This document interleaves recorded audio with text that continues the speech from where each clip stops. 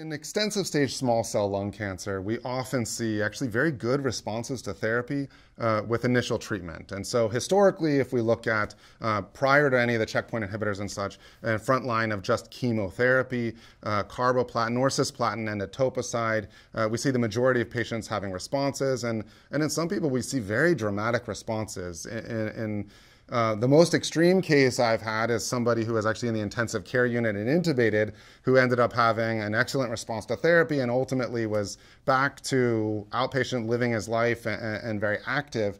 And it's not uncommon to see people admitted to the hospital with a new diagnosis of small cell lung cancer needing oxygen that have responses to the initial chemotherapy such that they're able to uh, leave off of oxygen and, and, and, kind of somewhat back to their lives, um, although, of course, they then have ongoing treatment uh, and such. But the initial responses can be very significant. The challenge, though, becomes when there's progression of disease. And, and unfortunately, for many people, that really comes uh, within months, and in, in many cases can be less than six months. And there, the treatment options really become uh, much more limited. If it's been more than six months, then trying chemotherapy again, the platinum etoposide can sometimes be effective, and I, and I have seen some patients with responses in that situation. Unfortunately, there have been a lot of failed trials within small cell lung cancer. It's just been a very difficult disease to control and a very aggressive disease. And so, in the second line and beyond, we've seen a number of treatments not really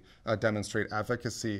I think the most disappointing recently has been Rova-T. This was a drug with tremendous preclinical data. There was a lot of hype and a lot of enthusiasm about this drug that unfortunately didn't really pan out in the studies that we've seen. The regimen that I've used most commonly really is carboplatin AUC of 5 on day 1, etoposide 100 milligrams per meter squared on days 1, 2, and 3 with Q3 week cycles. Uh, I would do scans every two cycles and um, typically at that first scan after two cycles, often see a nice response to therapy and, and, those are and tend to be happier visits where people are very excited to see how much the cancer has uh, really shrank.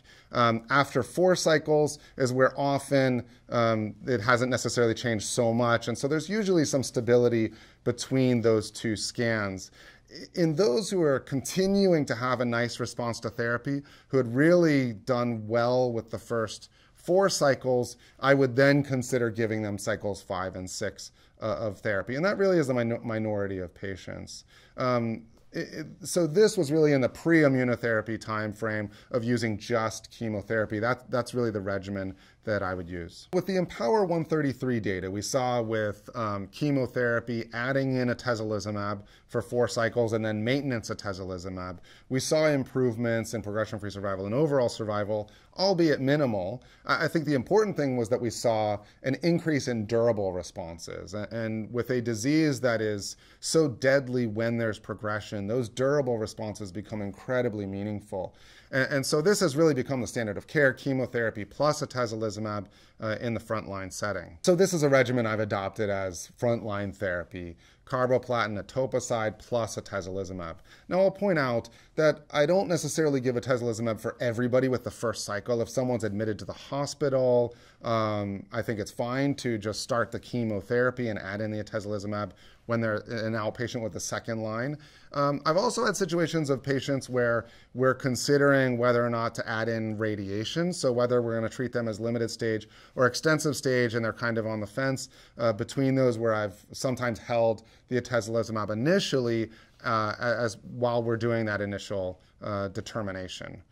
I'll say that um, what we see with the curves within the IMpower uh, 133 study is the separation of those curves really ends up being later on. So I think it's okay to to not give the atezolizumab with that front with that first cycle if there's if there's good reason for that, uh, and just to add it in as quickly as you can, uh, depending on the course of events.